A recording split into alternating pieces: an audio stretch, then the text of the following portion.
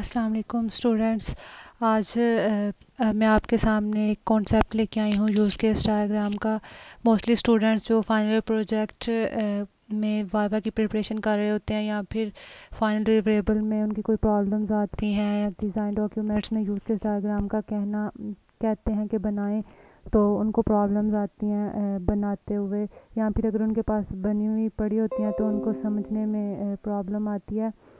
تو کچھ کانسیپٹس ہیں جو کہ اتنی مشکل نہیں ہیں، بس کچھ کانسیپٹس ہیں جو کہ پتہ ہونے چاہیے۔ تو فرسٹ آف آل اس میں یوز کیس ڈائیگرام جو ہے وہ یو ایم ایل کی فرسٹ ڈائیگرام ہے۔ اور یو ایم ایل کا مطلب ہوتا ہے یونیفائڈ ماڈلنگ لینگویج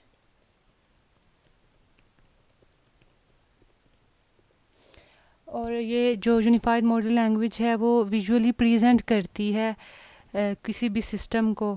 اور اس میں جو یوز کیسز ہیں یوز کیس کا مطلب ہوتا ہے کوئی بھی فنکشن یا پھر آپریشن جو کہ ہم لوگ پرفارم کر رہے ہوتے ہیں، کوئی بھی یوزر پرفارم کر رہے ہوتا ہے، ہماری یوز کیس ڈائیگرام میں کوئی بھی فنکشن ہے یا پھر آپریشنز ہیں۔ ٹھیک ہے اس کے بعد پھر ہمارے پاس سسٹم باؤنڈری ہے۔ اس میں چھ چیزیں ہیں بیسکلی جو پتہ ہونی چاہیے۔ سب سے پہلے ہمارے پاس سسٹم باؤنڈری ہے، ٹھیک ہے؟ یہ سسٹم باؤنڈری ہے اور اس طرح سے ریکٹینگل بنا ہوا ہوتا ہے جو کہ شو آف کرتا ہے سسٹم باؤنڈری کو۔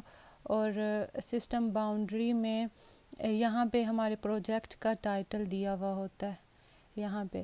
اور اس کے اندر پھر کچھ دوسرا جو اس میں کانسیپٹ ہے، وہ ہوتے ہیں ایکٹرز ایکٹر جو ہیں، وہ ویژولی انڈیویژولز ہوتے ہیں جو کہ ہمارے سسٹم کے اندر پرفارم کر رہے ہوتے ہیں آپریشنس کو اپنے رول کے حساب سے. جتنے بھی یوزرز ہیں ہماری ڈائیگرام میں، اس کو ہم ایکٹرز کہتے ہیں، ٹھیک ہے؟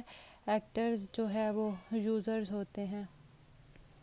یوزرز اس کے بعد ہمارے پاس یوز کیسز ہوتی ہیں۔ یوز کیسز میں پہلے بتا چکی ہوں کہ یوز کیس جو ہے وہ ایک ڈایاگرام ہوتی ہے فنکشنز ہوتے ہیں یا پھر آپریشن ہوتے ہیں۔ جتنے بھی آپریشن ہیں وہ ہم اس اوول شیپ سے پریزنٹ کرتے ہیں اپنی یوز کیسز کو۔ اس کے بعد پھر ایک چوتھا پوائنٹ ہے جس کو ہم لنک کہتے ہیں۔ لنک جو ہیں وہ ایکٹرس کے ساتھ یوز کیسز کو کنیکٹ کرنے کے لیے ہم یوز کر رہے ہوتے ہیں۔ پھر ففتھ نمبر پہ ہمارے پاس جنرلائزیشن ہوتا ہے۔ جنرلائزیشن کو ہم اس ایرو کے ذریعے پریزنٹ کرتے ہیں۔ یہ جو ایرو ہمارے پاس بنا ہوا ہے۔ اس کے ذریعے ہم جنرلائزیشن کو پریزنٹ کرتے ہیں، اس کی اگزامپل نیکسٹ میں بتاؤں گی، تب آپ کو صحیح سے کلیئر ہوگا۔ اور سکس پوائنٹ پہ جو اس میں چیز ہے، وہ ہمارے پاس ریلیشن شپ ہیں۔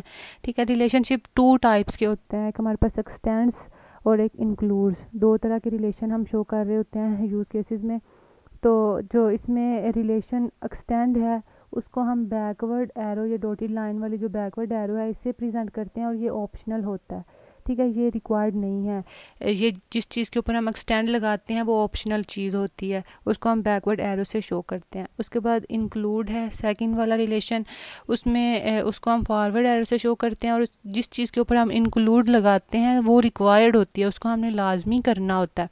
اس کے بعد ہم آپ آگے آ جاتے ہیں کہ اگزامپل کیا ہیں. بیسیکلی ایکسٹینڈ کی اگزامپل آپ سمجھو کہ ہم نے کہا ہے کہ یہ آپشنل ہوتا ہے ریکوائرڈ نہیں ہے. فار ایگزامپل اگر ہم کسی بھی ویب سائٹ پہ جاتے ہیں، کسی بھی پروڈکٹ کو دیکھنا چاہتے ہیں ویو کرنا چاہتے ہیں، تو لاگ ان کرنا لازمی نہیں ہے. ٹھیک ہے؟ اب اس کے درمیان ہم نے ایکسٹینڈ کا ریلیشن اس طرح سے ہم لکھتے ہیں.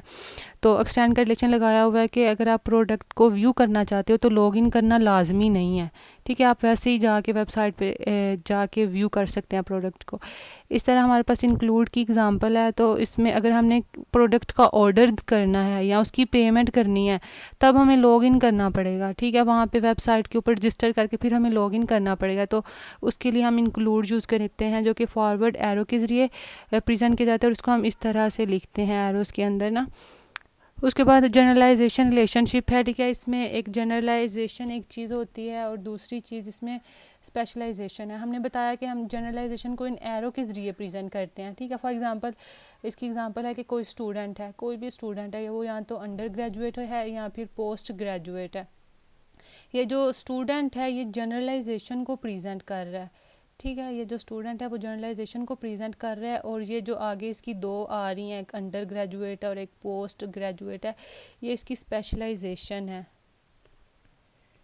ٹھیک ہے، یہ اس کی اسپیشلائزیشن ہے انڈر گریجویٹ اور پوسٹ گریجویٹ اور یہ جو اسٹوڈنٹ اوپر ہے، یہ اس کی جنرلائزیشن ہے۔ اسی طرح نیچے ایک اور ایگزامپل ہے کہ پیمنٹس اگر پیمنٹ آپ کرتے ہو کسی بھی چیز کی، یا تو آپ آن لائن پیمنٹ کرتے ہو یا پھر آف لائن پیمنٹ کرتے ہو۔ پیمنٹ جنرلائزیشن ہے اور جو آن لائن یا پھر آف لائن ہے، یہ ہمارے پاس اسپیشلائزیشن ہے، جس طرح سے اوپر ہے۔ یہ یوز کیسز کی بیسک کانسیپٹس ہیں۔ اب میں آپ کو بتاتی ہوں اس کی ایگزامپل سے آپ کو زیادہ کلیئر کرتی ہوں۔ اب آپ دیکھیں کہ یہ ہمارے پاس ایک ایگزامپل دی ہوئی ہے۔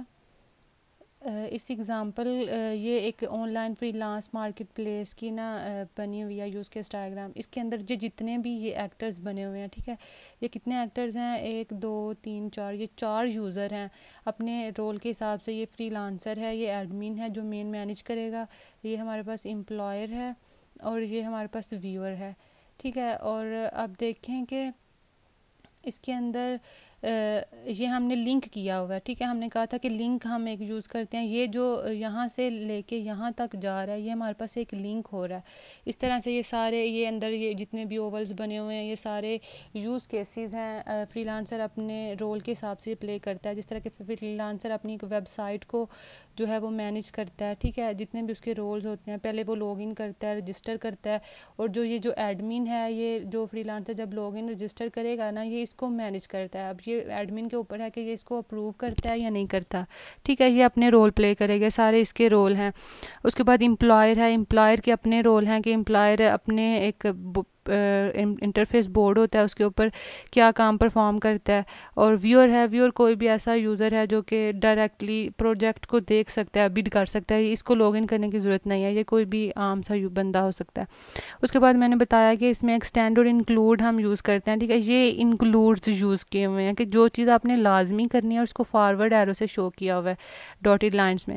ٹھیک ہے، اب پروجیکٹ کا جو فری لانسر کے اندر اس کے رول کیا ہیں کہ اگر فری لانسر ہے تو وہ بڈ کرے گا پروجیکٹ کے اوپر، ٹھیک ہے؟ اپنی بیڈنگ کا سٹیٹس چیک کرے گا۔ یہ انکلوڈ ہیں، یہ لازمی ہونا ہے۔ اسی طرح امپلائر ہے، اس کے اندر انکلوڈ میں ہم نے لکھا ہوا ہے کہ یہ پوسٹ کرے گا پروجیکٹ ٹھیک ہے؟ فری لانسر کے لیے جو یہ پوسٹ کرے گا نا پروجیکٹ کو، پھر یہ وارڈ کرے گا پروجیکٹ کو۔ اس طرح سے امپلائر ہے، اس کو جاب مل جائے گی اور فری لانسر اس طرح سے ارن کرے گا۔ ٹھیک ہے؟ جو چیز لازمی کرنا ہے۔ اس کے بعد ہم نے ایکسٹینڈ بھی ریلیشن یہاں پہ شو کیا ہوا ہے کہ ایڈمن انٹرفیس ہے تو ضروری نہیں ہے کہ ایڈمن جو ہے وہ فری لانسر کی لرننگ کو دیکھے، ٹھیک ہے؟ اس کو ہم نے ایکسٹینڈ کے ذریعے شو آف کیا ہوا ہے۔ سو یہ تھوڑا سا کانسیپٹ تھا یوز کے اسٹاگرام کا۔ تھینکس فار واچنگ اللہ حافظ۔